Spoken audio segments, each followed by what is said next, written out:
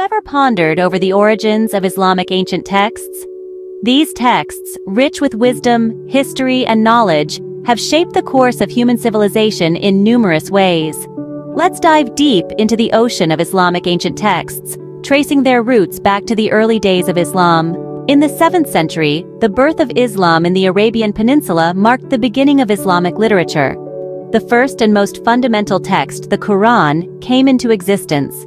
Muslims believe the Quran is the word of Allah as revealed to Prophet Muhammad over a span of 23 years. It's a text that has remained unchanged for over 14 centuries, illustrating the principles of faith, morality, and guidance for personal conduct. Following the Quran, the Hadith literature holds a paramount position in Islamic texts. These are the sayings, actions, and approvals of the Prophet Muhammad.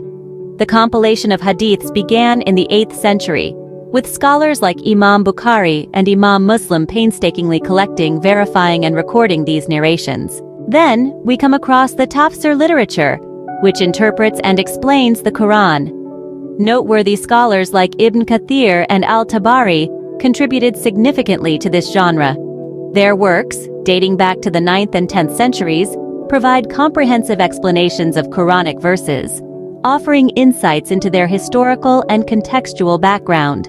The following centuries saw the emergence of fiqh literature, which deals with Islamic jurisprudence.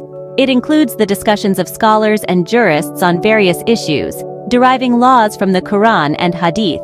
Key texts like the Mukhtasar of al-Quduri and al-Hidayah guide Muslims in matters of worship, transactions, and personal affairs. In the realm of Islamic philosophy, the 12th century scholar, Ibn Rushd, often known in the West as Averroes, made a significant contribution. His work attempted to reconcile faith with reason, and his texts continue to influence both Muslim and Western philosophy. To summarize, the journey through Islamic ancient texts is a passage through time, witnessing the evolution of thought, culture, and laws. It starts with the divine revelation of the Quran in the 7th century, followed by the compilation of the Hadiths. The subsequent centuries saw the development of tafsir and fiqh literature, providing explanations and interpretations of Quranic verses and Islamic laws. Finally, the exploration ends with the philosophical texts of Ibn Rushd, blending faith and reason. These texts, each unique and profound, have left an indelible mark on human civilization. They continue to guide, inspire, and stimulate intellectual curiosity, opening doors to a world of wisdom and knowledge that transcends time.